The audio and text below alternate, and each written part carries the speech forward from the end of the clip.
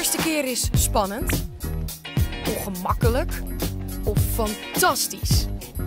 Maar één ding hebben ze gemeen: je vergeet ze nooit meer. Dus kunnen we er maar beter van leren. In Emma's eerste keer praat ik met mijn gasten over hun eerste keren. En geef ik je handige tips om die van jou net even iets makkelijker te maken. En vandaag doe ik het voor het eerst met Michelle Cox. Hi. Fijn dat je er bent. Dankjewel. We hebben het over eerste keren hier. Eerste keren seks en drugs. Die gaan we zo meteen bespreken, maar niet voordat we je allereerste Instagram post erbij hebben gepakt. Oké. Want ook voor Instagram was er een eerste keer. En dat was bij jou op 12 juli 2012. Met mijn dochter. Ja, nou, je wist het ook. Ja, ik heb hem al een keer eerder gehad bij iemand anders die vraag. Oh, wat stom. Zijn we naapers? Ja. Nou, dan halen we dit eruit. Michella werd bekend door programma's als Dames in de Dop en Echte Meisjes in de Jungle. Door haar opvallende karakter groeide ze al snel uit tot een echte realityster die niet bang is om haar ongezouten mening te geven. Dit doet ze dan ook regelmatig op televisie en social media. De eerste keer seks met een vrouw. Toen was ik, ik denk een jaartje of 24 of zo. Dat was met uitgaan. Dacht ik, ja, waarom ook niet? Ik wil alles proberen. Qua seksgebied wil ik eigenlijk alles proberen. En hoe kwam je er tegen? Ja, tijdens het uitgaan. En we waren ook gewoon met mannen bezig en zo. En we waren gewoon aan het ouwe hoeren. En toen kwam ik thuis en toen was ik met haar. dacht ik, oh, weet je wel, waarom ook eigenlijk niet? Je ging dus samen naar huis, gewoon een beetje. Een beetje zo- vriendschappelijk Ja, eigenlijk. precies, niet, ja. niet van, oh, ik zal jou eens even lekker likken of zo. Nee. Nee, helemaal niet. Hoe, hoe verliep dat dan? Ja, dronken en dan gewoon lollig en dan eh, seks hebben met elkaar. Ja, het was, ik vond het niet verkeerd. Nee? Nee.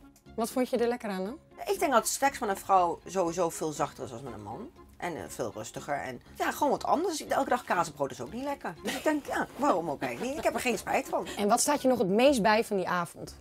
Ik denk de dildo. Oh, ik heb nog nooit een dildo erbij gepakt. Oh nee, moet je echt eens proberen. Ja? Wat is dan de toevoeging van zo'n dildo? Het vult je. Op alle manieren. Ja. Ja. Ik vind het gewoon lekker om geneukt te worden. Ik heb ook niet zo'n ding thuis, dus misschien is dat het dan ook. Aanschaffen, geloof ik. Aanschaffen. Stel, je wil inderdaad seks hebben met een vrouw, hoe zou jij dat aanpakken? Als ik uitga en ik heb een drankje op en ik heb een leuke klik met een vrouw, dan doe ik dat. Wanneer je alcohol drinkt, ga je sneller over je eigen grenzen heen. Je loopt dus het risico om dingen te doen waar je de dag erna misschien spijt van krijgt. Daarom, een tip van mij. Wil je graag experimenteren met iemand van hetzelfde geslacht? Probeer een dating app, maar geef wel altijd je intenties aan. De eerste keer blowen. Ja, wel een stuk ouder. Ik denk een jaartje of 15. Dat is ook de eerste drugs die ik ooit heb gebruikt. Je zou denken, nou, die doet alles, maar ik doe geen drugs. En dan gek genoeg van mezelf. En ik ben verslavingsgevoelig. We zaten samen op het balkon te blowen. En ik dacht, oh, wat een lekker gevoel. Relax, man. Ik vond hem helemaal goed, hoor. Helemaal. Zij zegt, oh, ik voel me niet goed worden. Dus die ging naar binnen en die zat echt zo op de bank. Helemaal lijkwit. En ik kon echt niet snappen. Dat En ik, ik was helemaal in mijn element. Ik voelde me zo goed. En dag twee dacht ik, daar gaan we al. Dag twee zei ik, kom, we gaan weer blowen. Het verlangen om drugs te gebruiken heet craving. Wanneer je een sterke craving voelt na drugsgebruik, kan het erop wijzen dat je verslavingsgevoelig bent. En als je dit merkt, probeer dan verstandig om te gaan met je drugsgebruik en een goede balans te vinden. En zij wou niet. En ik zei, jawel. En toen nam ik een paar ijs en toen kreeg ik hartkloppingen. Toen, nou, dat was ook gelijk een goede afleer. Maar ik moet helemaal niet zulke dingen doen. Maar die dag erna viel die dus heel anders. Ja, zij was me echt aan het helpen. Daarvoor zat ik haar nog uit te lachen. Dat zij zo... zij hielp- zo- En ik help je dan niet, hè? En zij hielp mij wel. En daarna heb ik nooit meer gedaan. En daarna dus ook nooit meer de behoefte gehad om eh, te Geen enkele drugs. Maar überhaupt niet nieuwsgierig dus ook naar die... eh, Tuurlijk wel. Ik ken mezelf en is het leuk, wil ik het nog een keer.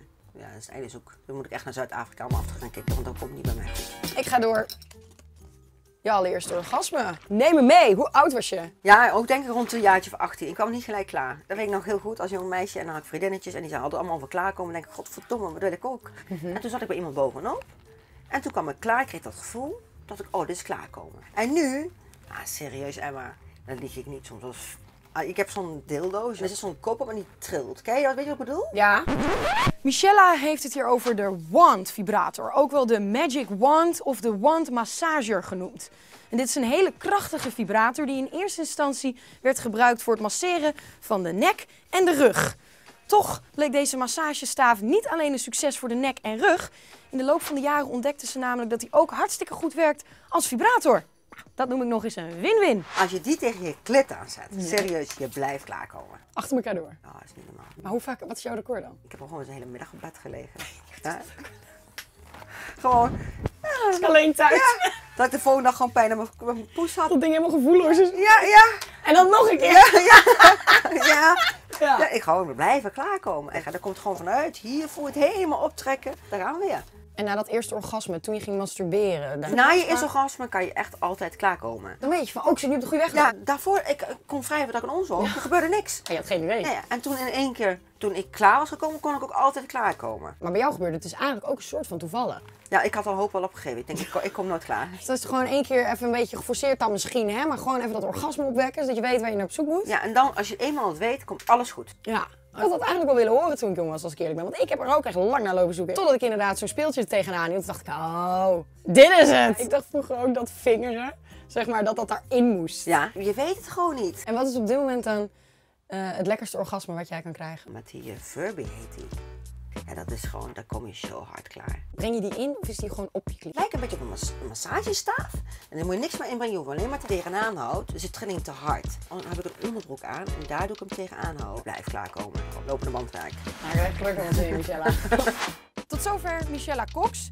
En jullie waren benieuwd naar mijn allereerste cocaïne-ervaring. Dus tevens mijn allereerste snuifervaring van een spiegel af. En dat is best confronterend, want je zit dan zo letterlijk naar jezelf te kijken terwijl je een eh, lijn coke snuift. En best confronterend. Ik voel me echt officieel drugsgebruiker. De effecten van cocaïne vond ik wel relaxed, maar ze waren ook heel snel weer klaar en je wil dan weer meer. Dus ja, het is een beetje een eh, ongemakkelijke drug zo nu en dan. Maar wel eh, de eerste keer overleefd. Naar welke eerste keer ben jij benieuwd? Laat het weten in de comments. En vergeet niet te liken en te subscriben. En dan zie ik je volgende week.